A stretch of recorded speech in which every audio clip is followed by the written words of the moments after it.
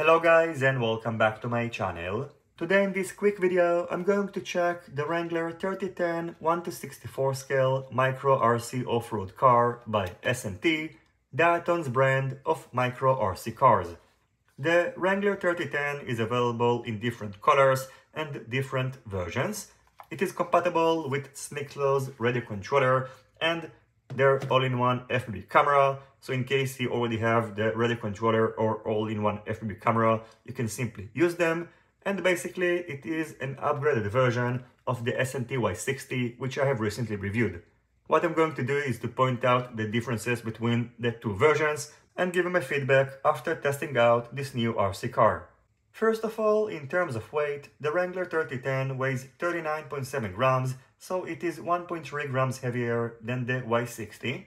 On the Wrangler 3010, you can find a single place to mount the all-in-one FPV camera, whereas on the Y60, you can find two of them, one on the front side of the car and one on the back one, which will enable you to see a larger part of the car in your FPV feed. However, on the Wrangler 3010, you will be able to control the all-in-one FPV camera using this button, so you will be able to turn it on or off, whereas it is not possible on the Y60. In addition, the build quality of the canopy and the attention to details are better on the Wrangler 3010. As far as I can tell, the springs on the Wrangler 3010 are a bit tighter in comparison to the Y60, which in my opinion is a good upgrade as it makes it less wobbly.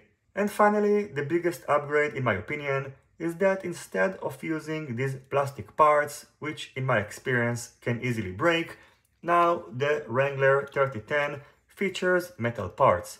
In case you checked out my review of the Y60, it was probably the biggest downside of the Micro RC car, and I'm glad to find out that SNT decided to upgrade these parts to metal ones as again it's a big upgrade and now these parts are very less likely to break.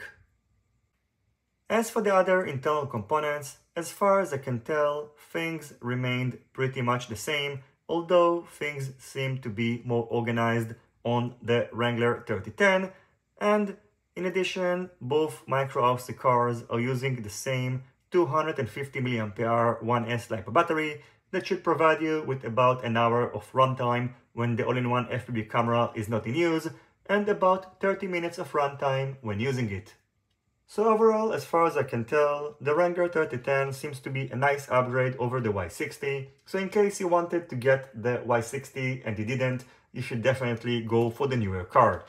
In addition, its off-road capabilities are pretty impressive for its size, and my 3 years old son really loves playing with it, and I think it's a great way to introduce micro RC cars in general and also FPV to your friends and family.